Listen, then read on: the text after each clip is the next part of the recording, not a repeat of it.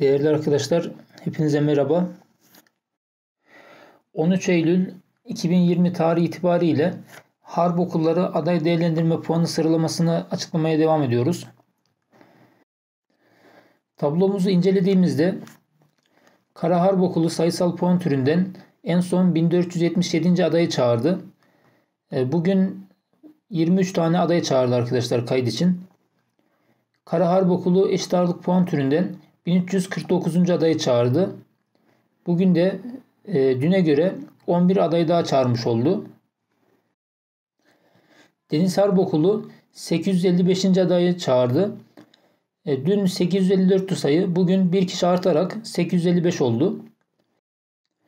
Hava Harp Okulu herhangi bir değişiklik olmadı. E, dün 327 idi çağrılan en son aday.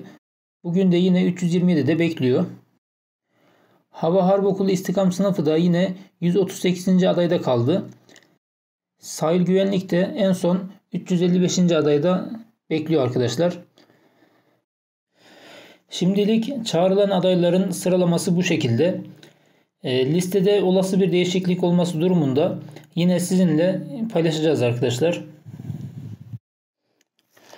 Videoların devamlılığı adına kanalımıza abone olup videoları beğenirseniz seviniriz. Bir sonraki videoda görüşmek üzere.